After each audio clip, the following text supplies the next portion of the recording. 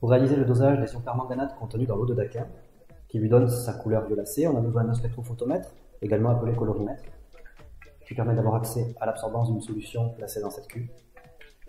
Et on aura besoin d'avoir construit une gamme étalon de solutions qui contiennent cet ion responsable de la couleur de l'eau de Daquin, donc l'ion permanganate, et euh, les concentrations en permanganate de ces solutions étalons sont connues avec précision. Alors elles ne sont pas obtenues à partir de l'eau de Daquin, elles sont obtenues à partir d'une solution mère réalisée à part. Euh, celle-ci a été réalisée simplement en dissolvant du permanganate de potassium dans de l'eau distillée. première étape du dosage, c'est préparer le spectrophotomètre en lui spécifiant la longueur d'onde de travail, qui est celle de la longueur d'onde du maximum d'absorption du spectre de l'ion permanganate. Alors pour nous, ça sera le vert, donc je choisirai avec cet appareil 525 euh, nanomètres. Et on va également faire le zéro, c'est-à-dire lui dire que lorsque cette cuve est remplie d'eau distillée, euh, l'absorbance à 525 nanomètres doit être égale à zéro. Je viens de régler la longueur d'onde de la lumière envoyée, on voit d'ailleurs que c'est euh, vert ici à l'intérieur. Et je vais maintenant faire le zéro en mettant dans la cuve de l'eau distillée, en mettant la cuve dans le spectrophotomètre, et en lui disant ceci doit être zéro. Voilà, la valeur affichée est 0, le spectrophotomètre est prêt. Deuxième étape, on nettoie, on sèche euh, la cuve pour éviter toute contamination, tout effet de dilution. Euh, vous pouvez voir que la valeur est peut-être euh, différente de 0. C'est comme quand vous avez effectué la tare sur une balance et que vous enlevez le, récipient par exemple, la valeur affichée devient différente de 0. C'est exactement pour les mêmes raisons qu'ici ça peut changer.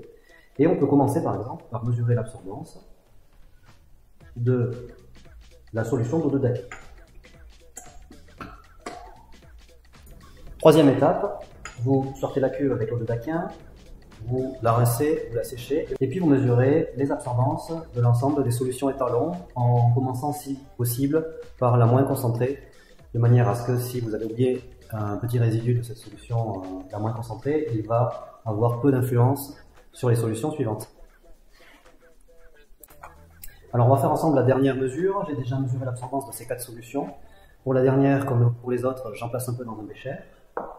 De ce bécher, je transvase